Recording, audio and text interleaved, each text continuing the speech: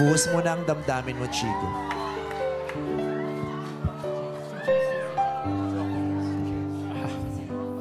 Hi, Kayla.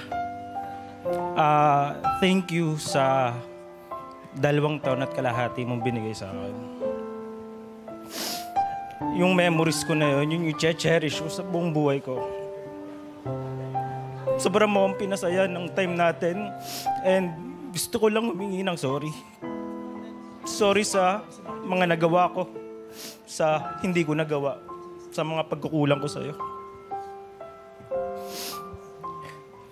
Lagi mong tandaan, nandito lang ako para suportahan ka lagi.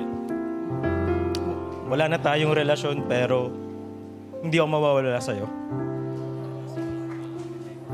Kayla, anong sagot mo? Ah, Jigo, ah, thank you dun sa lahat ng memories natin together. Ah, masasabi ko na isa yon sa pinakamasaya na nangyari sa buhay ko. Um, ah, thank you sa lahat and um, sorry kung hindi kita naintindihan.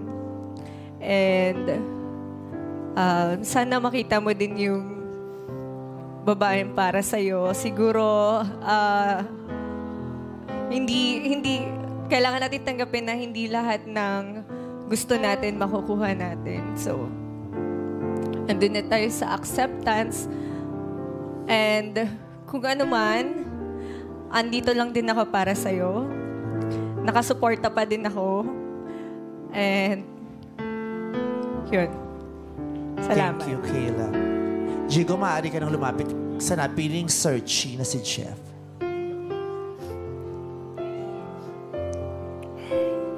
Ayun, Jeff. Ah, ang hirap, ang hirap ibigay ng taong mahal.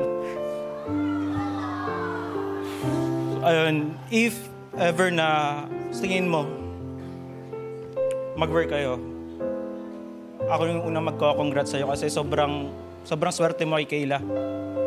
Wala ka nang ibang hahanapin kasi ano na siya eh, siya na yung pinaka the best na magiging girlfriend mo or kung maging kayo, maging asawa mo. Pero if ever dumating yung time na tingin mo hindi kayo mag-work, suli mo siya sa akin. Tatama ko yung mali ko. Mga pagkukulang ko. Jeff, Dominic, may gusto kang sabihin? Ah, sa ngayon, ah, pinapangako ko sa iyo na iingatan ko siya at hindi, hindi ko gagawin yung mga pagkakamali mo, pagkukulang mo nung nagawa mo noon. At kung sakaling hindi man kami mag-work, handa akong ibalik siya sa iyo. Thank you, Jeff.